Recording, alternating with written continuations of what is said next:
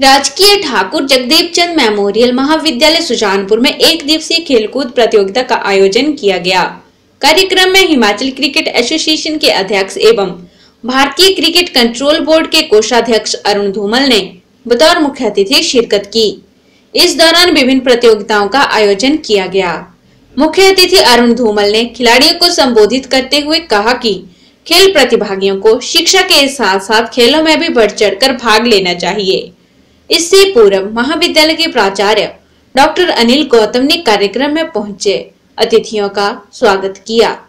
कार्यक्रम में मुख्य अतिथि ने विजेता और उप विजेता खिलाड़ियों को सम्मानित किया। इस अवसर पर महाविद्यालय प्रशासन ने अरुण धूमल को स्मृति चिन्ह देकर सम्मानित किया। पीआई टीवी के लिए हमीरपुर से ब्यूरो रिपोर्ट।